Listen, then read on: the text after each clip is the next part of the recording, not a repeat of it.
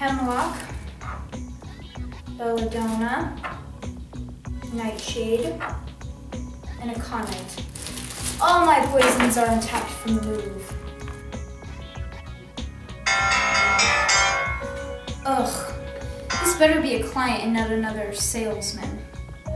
Hello? Good evening, miss. My name is Clay Gustav. I'm with the IRS. Is this Shiva Oleander speaking? Uh, that depends. What do you want? I have terrific news for you. The Bank of America submitted the names of eligible participants, and out of hundreds and thousands of entries, you were selected and now the winner of $10 million. What an obvious, predictable scam. You? That's wonderful! This isn't a joke, right? Ma'am, we wouldn't joke about anything like this, I assure you.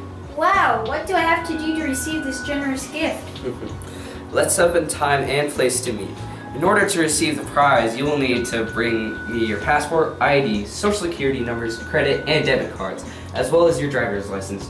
We always verify these things to make sure we don't award such a large amount of money to undeserving individuals. One moment, sir. I'm looking for good places to meet up.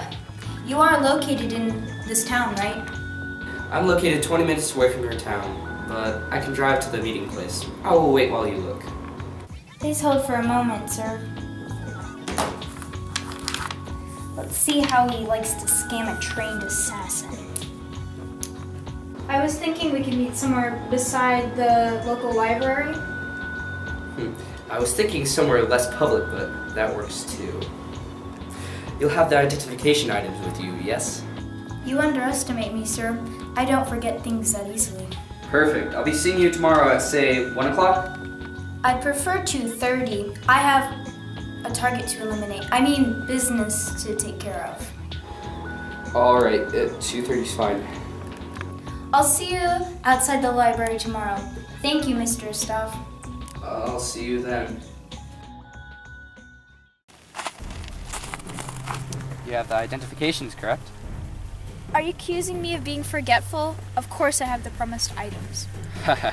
Shiva, I regret to inform you there is no money. Cooperate and I'll give you a quick death. I regret to inform you that I'm not stupid. Put the knife down and walk away if you want to live. You tricked me! You've seen my face. You can report me to the authorities. You're not gonna make it out of this alive.